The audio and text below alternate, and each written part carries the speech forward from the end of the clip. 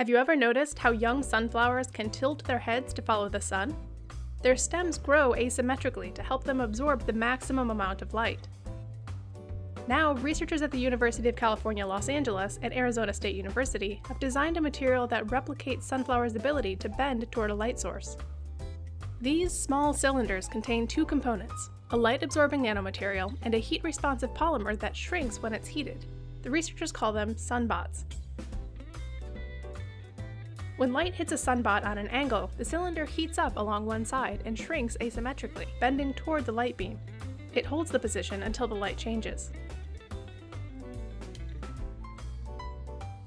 A sunbot can follow a beam of light through a wide range of angles. The researchers hope the material can improve the efficiency of devices that harvest solar energy to produce electricity or vaporize water. They made an array of sunbots to test in a light harvesting device. The researchers estimate that at certain latitudes on Earth, sunbot based systems could harvest up to twice as much energy as flat energy harvesting materials, because they can automatically adapt to variations in the sun's angle. C&EN will be tracking this team's progress as it works to prove its new technology.